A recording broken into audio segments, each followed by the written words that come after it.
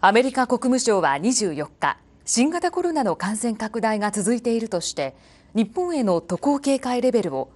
渡航中止、退避勧告にあたる最高レベルのレベル4に引き上げました。日本は去年8月以降、